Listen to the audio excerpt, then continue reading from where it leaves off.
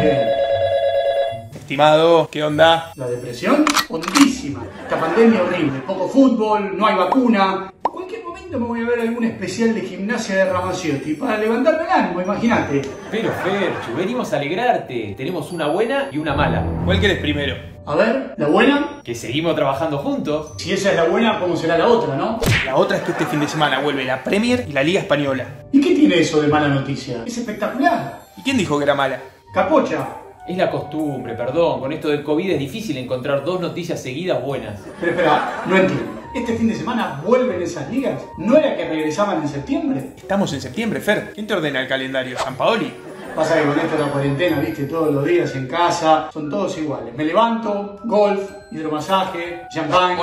Una depresión total, viste. Por lo menos este fin de vuelvo a ver a Messi. No, Messi no juega. Barcelona, Atlético y Sevilla arrancan recién en la tercera fecha. ¡Qué pone! ¿Y el último campeón? ¿Real? ¿A qué hora va el fin de? Al Real Vanil capaz puede llegar a ver, porque el Real Madrid tampoco arranca este fin de. Pero para, hermano, al final no juega nadie. ¿Qué me quieren hacer ver? Eibar contra el Celta. Exacto, sábado 11 de la mañana. Lo podés ver por roja directa. Roja directa le voy a sacar yo a ustedes. Aunque sea algún dato, ¿viste? ¿Qué sé yo? El mercado de pases, novedades del pistolero. Teo Gutiérrez sigue en el Junior Barranquilla, creo. No, me refiero a Suárez.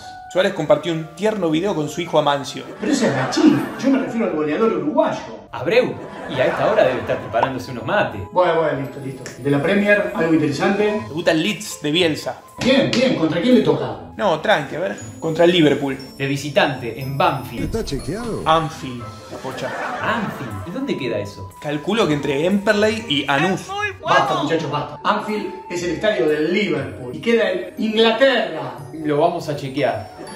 Chequeen tranquilo. Y chequeen si encuentran el boletín de geografía también. ¡Burro!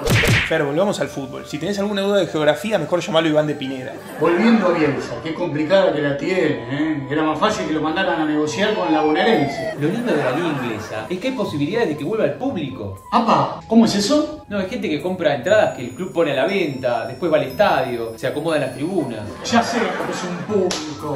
Me refiero a que le cuentes la noticia. La idea es que haya un 25% de público en las tribunas. Algo es algo. Un poco pobre. Es un Vélez patronato, pero con Salah, Van Dijk y Bielsa sentado en una conservadora. Al final es verdad, no todo es tan malo. Asoman algunas buenas noticias. Sí, Ferchu, pero bueno, por las dudas no te confíes. No, no, no. Quédense tranquilos que con ustedes nunca me confío.